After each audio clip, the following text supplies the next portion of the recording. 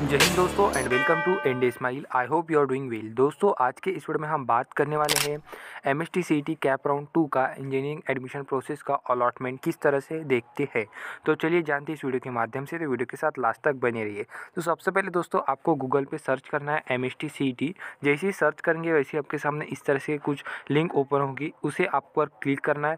जैसे ही आप क्लिक करेंगे, वैसे ही आपके सामने कुछ इस तरह का इंटरफेस आएगा। आने के बाद दोस्तों, आपको यहाँ पे क्लिक करना है। Click here to CAP portal admission 2022 2023 के इस पर क्लिक करना है। क्लिक करने के बाद आपके सामने फिर से कुछ इस तरह का इंटरफेस आएगा। वैसे आपको स्क्रॉल करते करते करते करते नीचे आना है। यहाँ पे देख सकते हो आप अंडर ग्रेजुएट कोर्सेज यहाँ पे बी एंड बी दिया है। तो हम बी एंड बी के बारे में बात कर रहे हैं। तो यहाँ पे बी एंड बी पर क्लिक करेंगे। क्लिक करने के बाद जैसे ही क्लिक करेंगे, वैसे ही कुछ दिनों, कुछ मिनट के बाद आपके सामने इंटरफेस आएगा। यहाँ पे लोड होने में थोड़ा सा दिक्कत आ रही है। तो आप देखो ये देखो, यहाँ पे लोड हो रहा है। तो लोड होने के बाद दोस्तों, कुछ इस तरह से आपके सामने इंटरफेस आएगा। आने के बाद आपको क्या करना है, यहाँ पे जाना है। जैसे ही आप जाएँगे, वैसे ही आपके सामने यहाँ पे कुछ इस तरह से दिखेगा।